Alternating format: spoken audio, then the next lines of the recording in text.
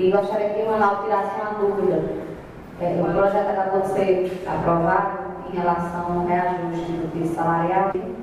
Gostaria que Graça colocasse em relação ao aumento dos 20% dos professores.